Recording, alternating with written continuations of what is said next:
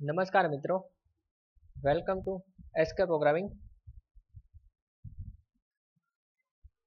તો આજના વિડીયોમાં આપણે જોવાનું છે method overriding in Java તો કે મેથડ ઓવર રાઇડિંગ છે શું? એ આજના વિડીયોમાં આપણે જોશું. If child class has same same method which are also declared in parent class, it is known as a method overriding. એટલે કે જ્યારે પણ તમે ચાઇલ્ડ ક્લાસમાં કોઈ મેથડ ડિક્લેર કરો છો, તેવી જ મેથડ પેરેન્ટ ક્લાસમાં અવેલેબલ હોય, તો એને મેથડ ઓવરરાઇડિંગ થયું કહેવાય. Method overriding is use for run time polymorphism એટલે કે, જ્યારે પેરેન્ટ ક્લાસમાં પણ સેમ મેથડ છે, અને ચાઇલ્ડ ક્લાસમાં પણ સેમ મેથડ છે. તો કઈ મેથડ છે એક્ઝિક્યુટ કરવી? તે રન ટાઈમ ડિસાઇડ થશે, જ્યારે આપણો પ્રોગ્રામ રન થશે ત્યારે. તો તેને રન ટાઈમ પોલીમોર્ફિઝમ કહેવામાં આવે છે. અને તે આપણે એચીવ કરી શકીએ છીએ મેથડ ઓવરરાઇડિંગની મદદથી. રૂલ્સ ફોર મેથડ ઓવરરાઇડિંગ હવે તમારે કોઈ પણ મેથડને ઓવરરાઇડ કરવી છે, તો તેના રૂલ્સ છે. તો એ આપણે જોઈએ. તો પ્રથમ છે the method must have same name as in the parent class એટલે કે, જે પેરેન્ટ ક્લાસમાં તમે મેથડ ડિફાઇન કરેલી હોય, તેનું જે નામ હોય, એવા જ નામની મેથડ ચાઇલ્ડ ક્લાસમાં તમારે ડિક્લેર કરવી પડશે. તો જ તે મેથડ ઓવરરાઇડિંગ પોસિબલ બનશે. એટલે કે તમારા સુપર ક્લાસ પેરેન્ટ ક્લાસમાં વોઇડ ડિસ્પ્લે નામની મેથડ છે. તો તે જ નામની વોઇડ ડિસ્પ્લે કરીને ચાઇલ્ડ ક્લાસમાં તમે ડિફાઇન કરો તો મેથડ ઓવરરાઇડિંગ થયું કહેવાય. સેકન્ડ છે the method must have same parameter as in the parent class એટલે કે સુપર ક્લાસમાં તમે વોઇડ ડિસ્પ્લે મેથડ લખેલી છે. એટલે કે ડિફાઇન કરેલી છે. તો એમાં તમે કોઈ પેરામીટર પાસ નથી કર્યા. તો જ્યારે ચાઇલ્ડ ક્લાસમાં તમે તે મેથડ ડિફાઇન કરો છો ત્યારે પણ વોઇડ ડિસ્પ્લે તેમાં પણ પેરામીટર પાસ કરવાના નહીં. જો પેરેન્ટ ક્લાસની મેથડમાં પેરામીટર પાસ કર્યા હોય તો ચાઇલ્ડ ક્લાસની મેથડમાં પણ કરવાના. જો ના કર્યા હોય તો નહીં કરવાના. એટલે કે પેરામીટર જે લિસ્ટ હોય છે મેથડનું તે પણ પેરેન્ટ ક્લાસમાં જે મેથડ છે, તેના પેરામીટર લિસ્ટ સાથે મેચ થવું જોઈએ. There must be is a relationship એટલે કે ઇનહેરિટન્સ એટલે કે પેરેન્ટ ચાઇલ્ડનું રિલેશનશીપ હોવું જોઈએ, એટલે કે ઇનહેરિટન્સ થવું જોઈએ, તો જ તે મેથડ ઓવરરાઇડિંગ પોસિબલ બને છે. ચાલો તો આપણે મેથડ ઓવરરાઇડિંગ છે શું તે પ્રેક્ટિકલ કરીને જોઈએ. મેં અહીંયા એક ક્લાસ લખેલો છે અને તેને સેવ પણ કરેલો છે ક્લાસ એબીસી વન તો અહીંયા આપણી વોઇડ મેન મેથડ લખી દઈએ. Public static void main. String args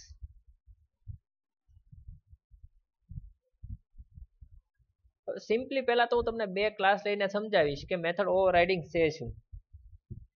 તો એક હું પહેલા ક્લાસ બનાવી દઉં છું એબીસી ક્લાસ એ વન નામનો બનાવીએ એબીસી નહીં. તેમાં હું સિમ્પલી એક મેથડ ડિફાઇન કરું છું વોઇડ display.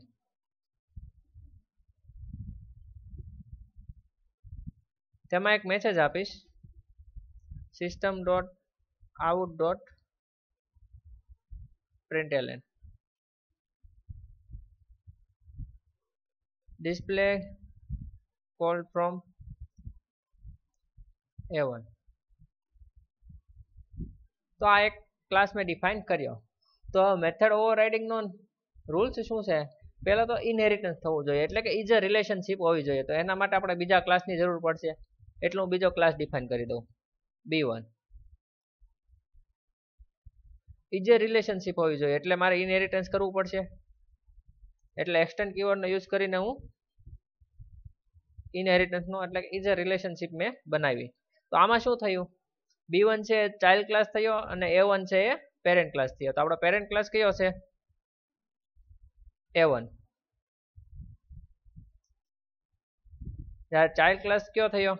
બી વન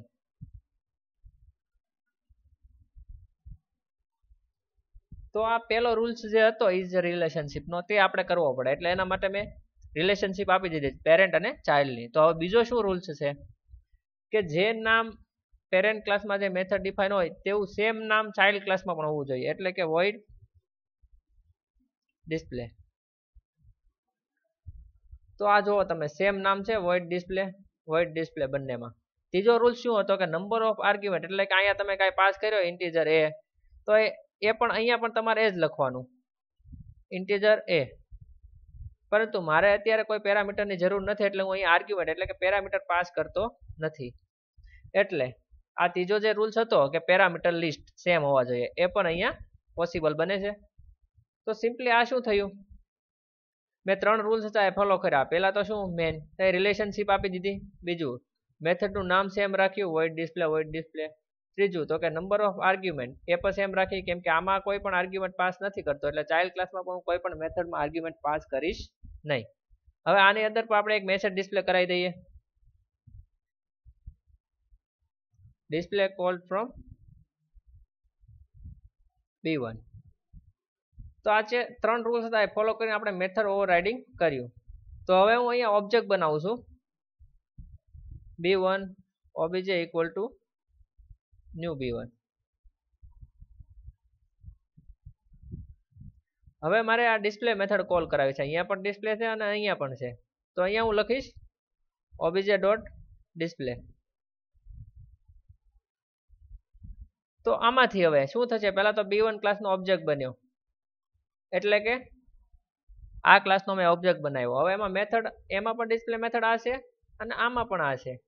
તો આ ડિસ્પ્લે મેથડ કોલ કઈ થશે? એ આપણને આઈડિયા આવવો જોઈએ. તો કે આ ડિસ્પ્લે મેથડ જે મેં કોલ કરે છે, એટલે કે આ જે સ્ટેટમેન્ટ મેં આમાં લખેલું છે, તે કોલ થશે display call from B one તેવું આઉટપુટ આપણને મળશે. શા માટે તેવું મળશે? તો કે અહીંયા મેં ડિસ્પ્લે મેથડ જો એક તો પેરેન્ટ ક્લાસમાં પણ છે અને ચાઇલ્ડ ક્લાસમાં પણ છે. પરંતુ જ્યારે આપણે કોઈ પણ ક્લાસનો ઓબ્જેક્ટ બનાવીએ છીએ એટલે કે કરંટ ઓબ્જેક્ટ જે ક્રિએટ થયો હોય તે ક્લાસની મેથડની પ્રાયોરિટી જાય એટલે કે ઓબ્જેક્ટ આપણે બનાવ્યો છે બી વન ક્લાસનો તો તેના માટે તે જ ક્લાસમાં જે ડિસ્પ્લે મેથડ હશે તેને પ્રાયોરિટી જશે અને એના લીધે આ ડિસ્પ્લે મેથડ કોલ થાય છે. એટલે કે હાયર પ્રાયોરિટી કરંટ ઓબ્જેક્ટની રહેશે એ યાદ રાખવાનું. તો આપણે આઉટપુટ શું આવશે? Display call from B one આ પ્રોગ્રામને મેં સેવ કર્યો.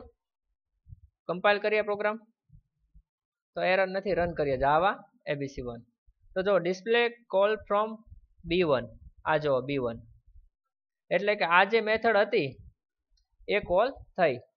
એટલે કે પેરેન્ટ ક્લાસની જે મેથડ હતી, તેણે ચાઇલ્ડ ક્લાસે તેને ઓવરરાઇડ કરીને તેની મેથડનું જે કોડ હોય સ્ટેટમેન્ટ હોય, એ એક્ઝિક્યુટ કર્યા. આ તો ઓવરરાઇડિંગનું સિમ્પલ એક્ઝામ્પલ થયું, કે ખાલી આપણે મેથડ ડિસ્પ્લે કરાવીને કરીએ છીએ. તો આ તમને જો મેથડ ઓવરરાઇડિંગ તમને પૂછાય, તો હમણાં મેં તમને ત્રણ ચાર ટોપિક બતાવ્યા, જે કાંઈ રૂલ્સ અને શું છે મેથડ ઓવરરાઇડિંગ પીપીટીમાં તે તમે લખી શકો અને એક્ઝામ્પલમાં સિમ્પલ એક્ઝામ્પલ તમે લખી શકો. તો હવે જોઈએ આપણે રિયલ એક્ઝામ્પલ મેથડ ઓવરરાઇડિંગનું તો તેમાં દાખલા તરીકે તમે સમજો કે એક બેંક હોય, બરાબર? તો તેમાં ઇન્ટરેસ્ટ રેટ હોય. તો કે બેંક હોય તો બેંક કેટલા પ્રકારની હોય? એ પણ આપણને ખબર હોવી જોઈએ. એટલે બેંક કોઈ પણ એસબીઆઈ પણ હોય, દેના પણ હોય, અને બેંક ઓફ બરોડા પણ હોય. હવે એસબીઆઈ છે એ આપણને છ પોઈન્ટ એક ટકા ઇન્ટરેસ્ટ આપતું હોય. જ્યારે દેના બેંક છે સાત પોઈન્ટ એક આપતું હોય. જ્યારે બેંક ઓફ બરોડા છે હું ખાલી સમજાવું છું, અહીંયા આવી રીતે અલગ અલગ જે ઇન્ટરેસ્ટ રેટ શું છે મને ખ્યાલ નથી. આ તો સમજવા માટે કે આ આપતું હોય પાંચ પોઈન્ટ બે, બરાબર? તો હવે બેંક છે એમાં ઇન્ટરેસ્ટ રેટ હોય, બરાબર? તો બેંકના પણ અલગ અલગ બીજા પણ ટાઈપ હોય. એસબીઆઈ બેંક હોય, દેના બેંક હોય બેંક ઓફ બરોડા હોય એક્સિસ બેંક હોય, તો એના બધાને અલગ અલગ પ્રકારના શું હોય? ઇન્ટરેસ્ટ રેટ પોતાને જે રીતે સારું પડે એ રીતે આપતું હોય છે. તો આનું લાઈવ ડેમો જોઈએ. એક હું ક્લાસ બનાવું છું. બેંક આ બેંક નામનો મેં ક્લાસ બનાવ્યો. તેમાં હું એક મેથડ ડિફાઇન કરીશ, જે રિટર્ન કરશે આપણને interest rate get interest rate આમાં સિમ્પલી રિટર્ન શું કરાવવાનું છે? ઇન્ટરેસ્ટ જે રેટ હોય બેંકની ઇન્ટરેસ્ટ રેટ જે, તે કાંઈ પણ હોય. અહીંયા હું લખી દઉં છું આઠ પોઈન્ટ એક. આ બેંક ક્લાસ છે, બરોબર? હવે હું કરીશ, આપણે અહીંયા ત્રણ બેંક લીધી હતી.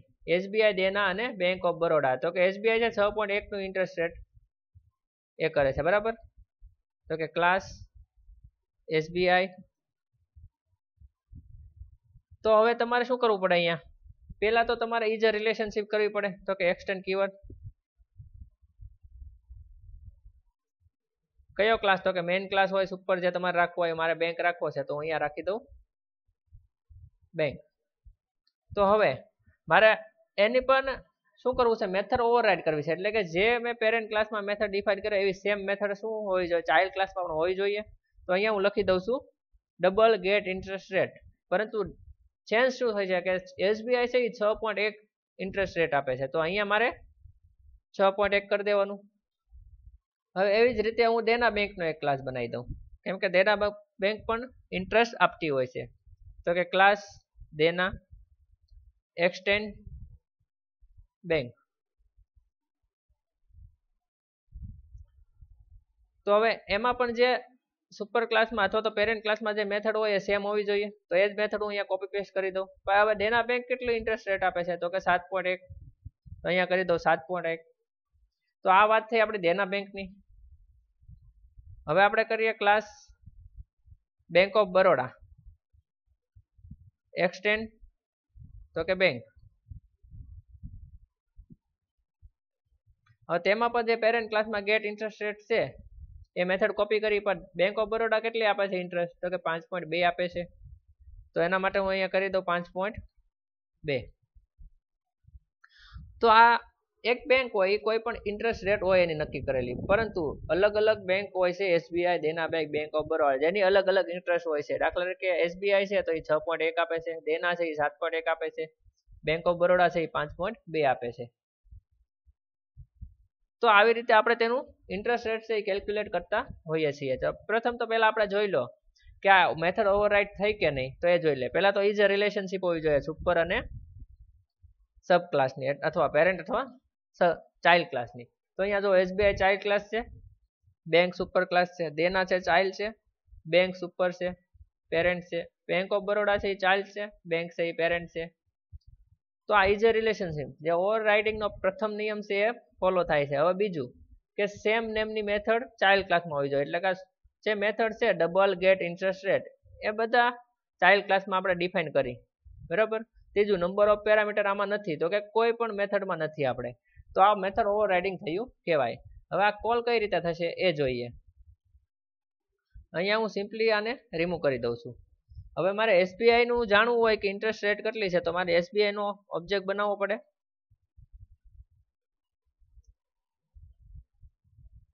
હવે હું કોલ કરાવી ઓબીજે હું સિમ્પલી છે ને, પહેલાં તો એક સિસ્ટમ ડોટ આઉટ ડોટ એક મેસેજ આપીએ. ઇન્ટરેસ્ટ ઇઝ એવો કરીને. તો system dot out dot N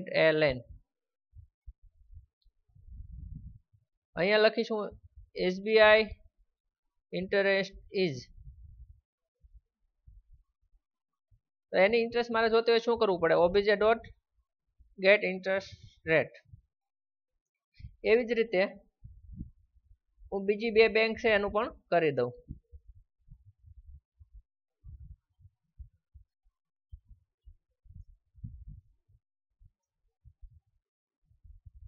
તો એસબીઆઈ નો આવી ગયો હવે કઈ બેંક રહી? તો કે દેના.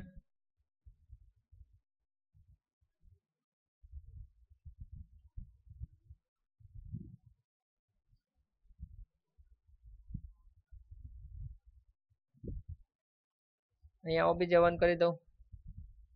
નહીતર આપણને એરર આવશે સેમ નામના આપણે ઓબ્જેક્ટ ક્રિએટ ના કરી શકીએ. બીજી છે બેંક ઓફ બરોડા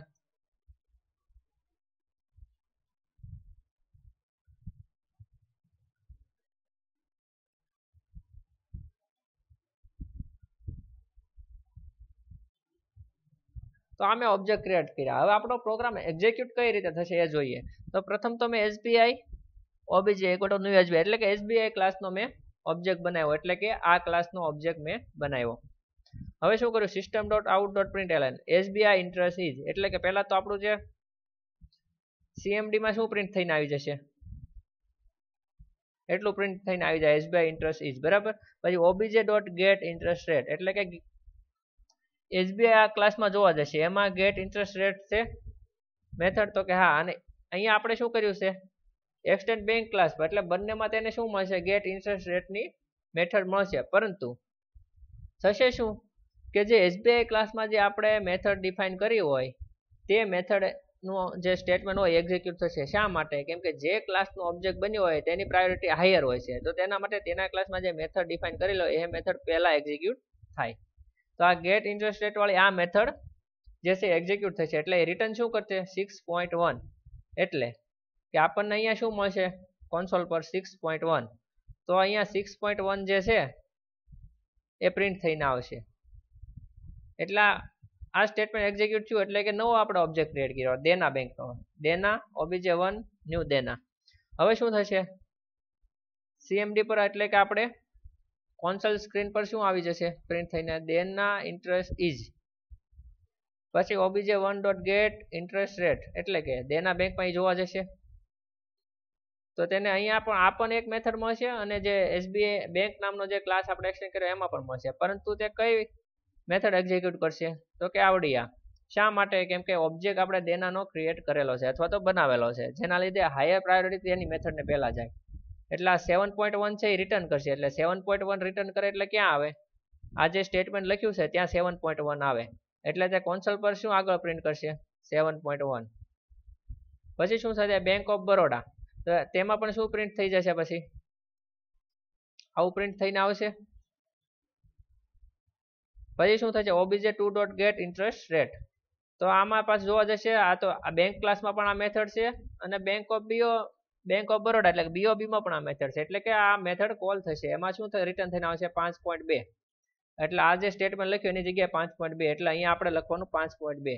તો સીએમડીમાં આવું આઉટપુટ આવશે. પહેલું તો લાઈન છે SBI interest is six point one Dena interest is seven point one bank of Baroda interest is five point two આવું આઉટપુટ આવવું જોઈએ. તો આપણે જે અત્યારે સમજાય એ આપણો કન્સેપ્ટ ક્લિયર છે એ જાણી શકાય.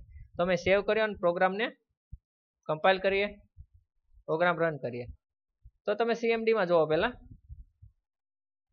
SBI interest is six point one હવે નોટપેડમાં જુઓ. SBI interest is six point one Dena interest is seven point one Dena interest is seven point one bank of Baroda એટલે કે BOB interest is five point two BOB interest is five point two એટલે કે જે રીતે મેં programme trace કર્યો અને અહીંયા મેં આઉટપુટ લખ્યું, એવું સેમ આઉટપુટ ત્યાં આવે છે. એટલે કે આપણો જે કન્સેપ્ટ છે એ ક્લિયર છે. તો તમે એક્ઝામમાં જો વધારે માર્કમાં પૂછાય તો આવું આ બેંકનું રિયલ લાઈફ એક્ઝામ્પલ પણ આપી શકો છો પરંતુ એક વાત મારે તમને શીખવાડવાની રહી ગઈ. હવે મારે જ્યારે કોઈ એક જ મેથડ કોલ કરાવ્યું હોય, તો ઓબ્જેક્ટ બનાવવાની જરૂર નથી. એટલે કે સપોઝ હું આને કમેન્ટ કરી દઉં છું. અને અહીંયા લખી દઉં ડાયરેક્ટ આ ઓબીજે લખ્યું હોય ને, ત્યાં હું આવી રીતે પણ કરી શકું. New SBI